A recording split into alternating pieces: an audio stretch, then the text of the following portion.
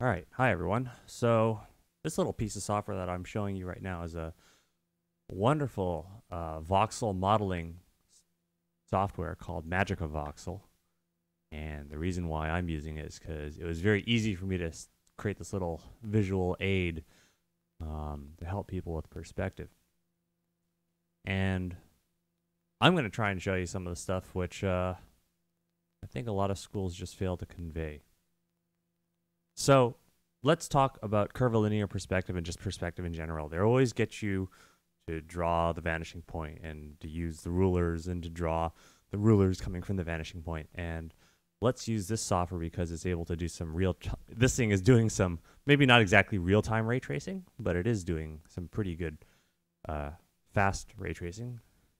And it's also applying some curvilinear distortion. If you look at those red lines, you can see that they are clearly bending.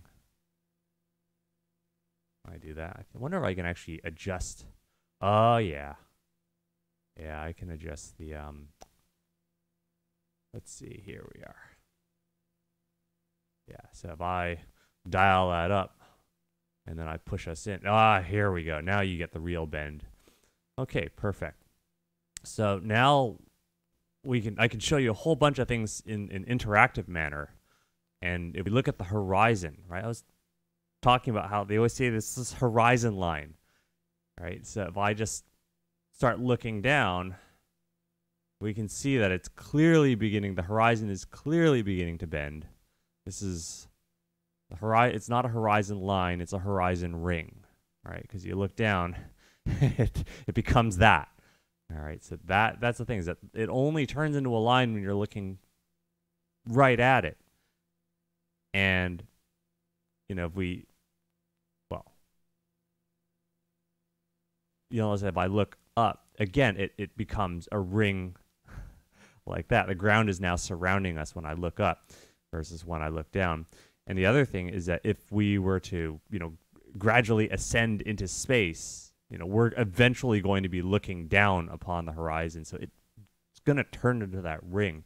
This is why I think it's really good. You know, get get yourself a copy of MagicaVoxel. It's free, um, and it's made by uh, someone named ephtracy, E P H T R A C Y. Yeah, I'll I'll put a link in the description for it.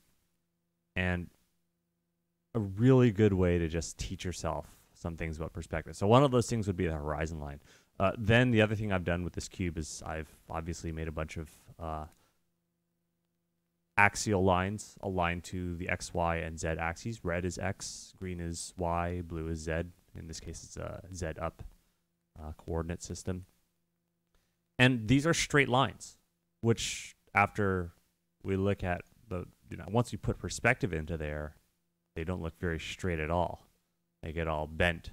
And people call this lens distortion. it's not lens, so the lens isn't distorting it. Uh, I guarantee you that. It's it's actually um, you'll see this sort of distortion occurring because if I were to zoom in on any single part of this image, those lines gradually straighten out. You just don't see that subtle curvature. So because I've pulled the lens really wide and then pushed the camera in, the the perspective distortion is what you're seeing. Now, why you probably want be wondering why does the line do that weird curve? Okay, so let's put the lens back to a, a fairly standard, I don't know. Well, maybe even with 90. You know what? 90 is good because we can still see it. Or, you know what? No, let's just put it down to like 75 maybe. Or even just turn off the lens distortion altogether. So if I turn off the lens distortion, everything looks straight, and this is probably what you're used to. Well, watch what happens to these lines, right? They're parallel right now. We just look at the green lines, or actually look at the red lines. You can see that they're parallel. And as I turn it over, turn it one way or the other, you'll see that they, they go down to a vanishing point way down there. And then now where that they, they don't converge on any vanishing point because they're parallel. And now they form another vanishing point down there. So you can see this kind of activity occurring, and it happens on all the axes, right? So the blue lines are doing that as well. And guess what? The green lines, which I have reflected, you can see that they are forming a vanishing point, well, off kind of in the distance. But, you know, if we were to turn it around, they're also shooting off way back there. So this is the kind of thing you can only tell when you're when you're tumbling this thing around. All right, these are just things that that you should just kind of catalog away in your head and just understand that whenever you take a box and you rotate it, right, is that with this box, if I take this edge and I bend it and push it away, right, I'm pushing the vanishing point way up there, right? If I pull it this way, you know, I'm I'm bending the vanishing point around. So here, let's let's doodle some of that. Let's apply this knowledge right away. Oops. Gotta fire up my uh, tablet control script. Okay. Right. So if I take these lines and I'm, you know, if I want to push a corner away from me, right, I can push those vanishing points up there. Right? I'm just kind of sending them down like that. And then this part of the box again, I can I can kind of push. Right, I'm shoving those vanishing points down that way. So this is the problem is that whenever you see a lot of these drawing books, they're static images. Right? And anytime someone draws a demonstration for you, it's a static image. This is why the 3D software is so useful because you can just keep tumbling the darn thing and you can see like how I'm pushing the different sides away from me. And as you push right? As I push this this corner away from me, right? Look what happens on the other side. It starts to roll towards you. So when you're doing box rotations, you are pushing one side away from you. There's an axis of rotation. So if I start turning it around like um, like there's this sort of axis of rotation, there's this axis of rotation. You could choose any axis of rotation. You know, this is another axis of rotation. So what's happening is that one side of the um, I guess a, a good way to think of this is if we were to take this box, let's draw a sphere first. Okay, and then somewhere within this sphere. Actually, wait, no, I got it. I got it. I got it. Hold on, hold on, hold up, hold up. Uh, we'll fire at Wings 3D because Wings 3D will give me a 3D sphere. Voxel software is not is kind of not so good at drawing the spheres. Um, okay, here, right? So as I rotate, this is another free 3D piece of software. It's uh, called Wings 3D.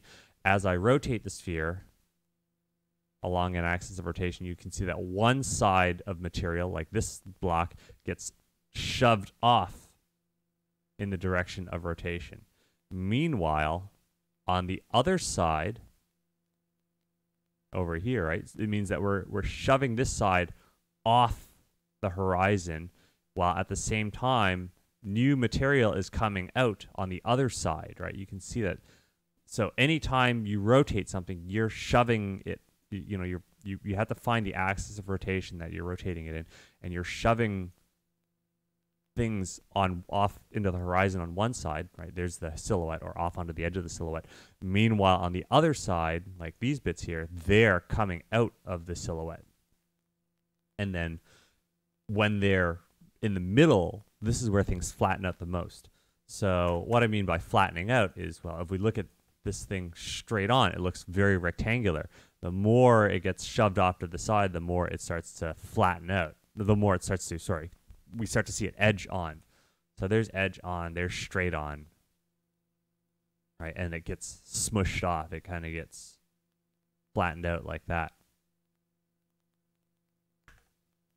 So it's this kind of thing where you know you have to do the you have to draw like a rotation to be able to really understand all of these transitions that are occurring. And when I was talking, just to get back to the subject of lens distortion or perspective distortion, right? If we look way down there, we see lines converging like this. If we look at it straight on, they begin to dive, they begin to flatten out. And then when we turn it the other way, they converge the other way. So if you were to take three pictures, take a picture like this, where it converges off into the distance like this, take a picture like this, where it's flat on, and then take another picture like that, right? And you stitch them all together. Well, what do we get? Here, let's draw it. Let's say we have a picture. And we have a vanishing, well, we have our horizon ring, not horizon line, but we know it to be a horizon ring. Okay, so we see something like this, where it's going off into a vanishing point. Then we see, right, the lines kind of straightening out. Right, they, they straighten out like that, and there's our horizon line. And then on the other side,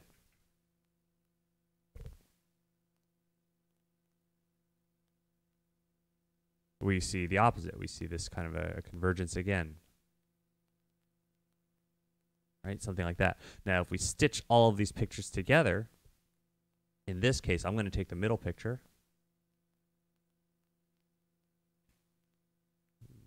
embiggen the image. And then we connect the lines together, right? This is what you get. You get, that's what you get. You get this stitching to occur. And oddly enough, doesn't that look kind of like the lens distortion you get? That That's why it does it. It's not lens distortion, it's perspective distortion. It, the reason, the other thing to, to take into account is that this is very far, right? This, these bits are very far. This is getting closer. This is really, really close. And then it gets further and further and further and further and further until it goes off into the distance like that. And let's put this thing into that. Let's let's re-engage. There, there we are, right? We can see this edge is further away. This is very close that's very far. If we look at it straight on like this, and let's crank that up to 90 or 120, so it's super high now, we can tell that this piece right here in the center is a lot closer than that piece. Those corners are further away. In fact, another thing I can do is I can just use Let's use uh, one of these other colors I have. Okay. And I'm going to draw. Oops. I just want to paint. Here we are. In fact, I can paint a whole line of things. Here we are. Okay, so a whole. I'll do it like that. We'll use these pixels for scale. So when I get in there, like look at that. Look how much closer these these pixels are. Like this the the actual physical size of this square versus the physical size of one of those squares, right? This is much the physical sizes are identical, right? The squares they're voxels, all the voxels are the same physical size. But perceptually or from what we can see due to perspective, we know that those parts are further away. So the closer you get to the edge, the further, like on a convex object, typically, the, the, the closer to the edge of the silhouette you get, the smaller the object is going to be. And, and, or not the smaller, but rather the further away it is, right? So this really drives home the idea that even though this is a flat planar surface, it's a cube, right? We zoom out. Oh, look, right? This thing looks, this cube looks totally normal right? Looks totally normal. People are if I here just put it back to regular mode, right? Like this this view that people are used to seeing that's just this. Right? And with the horizon line, well, the horizon line it still looks fairly straight. Right? If we zoom in on this thing and try and, you know, frame it like that, the horizon line looks still fairly straight, but you can see that slight bowing that slight bending in there, the horizon ring. So stop calling it a horizon line, start calling it a horizon ring. Just gonna move the camera around. Now we have this thing called eye level, right? So let's see, I'm gonna just put that up there, right? You can see that thing's at eye level and you can see how everything is straightening out. everything at your eye level matches up with the horizon line. like that. And you can see how it bends now. It's bending. Things will bend around that horizon ring. But even the horizon ring can bend. When we start to look up into the sky, it begins to bend. We we move to eye level and you can look at that. Even the red lines, even these these red lines. I'm going to start spinning this thing around. Going to make some people nauseous, right? But as long as they're right at the eye level, you can see.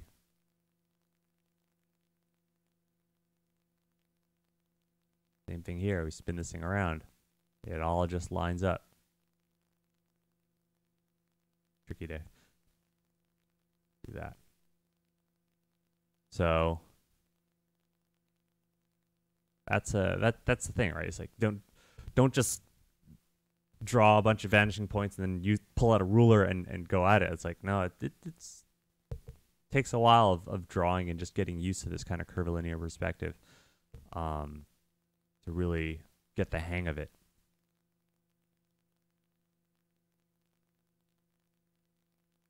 Okay.